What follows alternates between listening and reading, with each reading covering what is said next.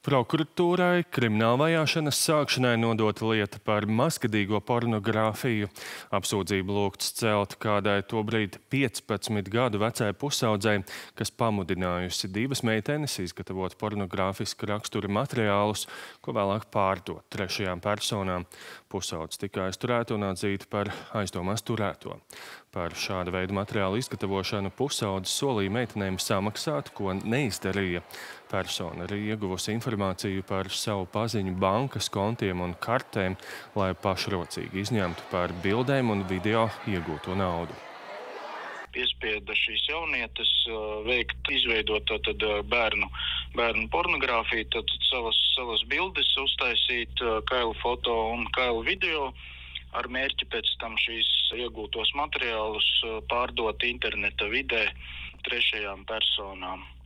Šā procesa ietvaros tad, tad tika noskaidrots, uh, ka aptuveni 25 klienti ir bijuši, 76 uh, pārskaitījumi, kuros ir saņemts vairāk kā 500, no aptuveni 500 eiro.